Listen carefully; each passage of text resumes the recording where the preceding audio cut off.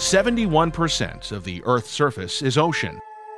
A vast ecology that can be sustainably cared for the benefit of all, but instead is under constant threat, and the demands continue to rise. Our generation needs to find solutions.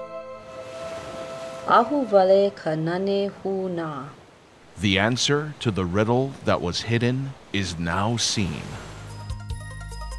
80% of the sun's energy that reaches the Earth daily is stored thermally in our oceans. The tropical ocean zones of Earth have stored thermal energy equal to 10,000 times our current demand. This stored energy can be tapped by pumping up cold, deep waters to warm surface waters for ocean thermal energy conversion, a non polluting, carbon free source of energy for the whole world. The cold, deep water is rich in accumulated nutrients for growing plankton and krill in surface waters that can restore fish stocks and enrich the entire marine food chain. This nutrient rich water can grow macroalgae like kelp, which can become fish feed for aquaculture, clean biofuels, and valuable marine co products such as pharmaceuticals and seafood products, thus providing energy, food, and desalinated water to meet the needs of our world sustainably.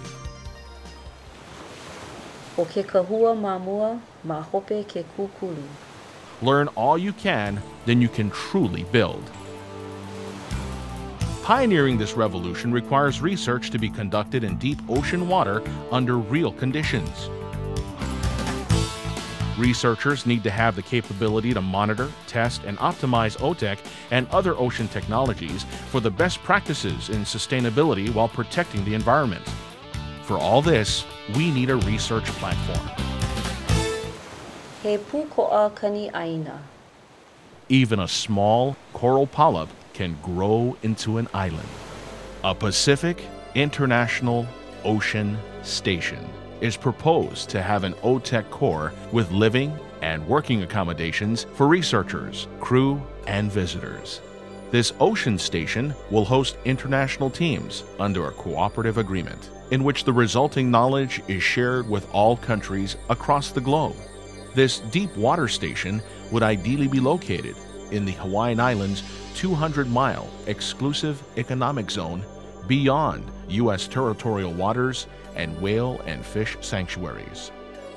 Hawaii is located far from any conflicting national boundaries in a tropical thermal zone and in open ocean waters that can support a broad span of marine life. Imua. Moving forward. With success in finding the best practices for stewardship while protecting the ocean ecology, the Pacific International Ocean Station can serve as a pilot facility, leading the way for clusters of ocean farming communities and perhaps even ocean cities. This may ultimately serve as a model for regional sustainability and international cooperation for all the countries of the world. This is our vision for a blue revolution, meeting humanity's needs through sustainable use of our ocean resources. Taking the first step requires bold vision and the courage to sail beyond the horizon toward a bright future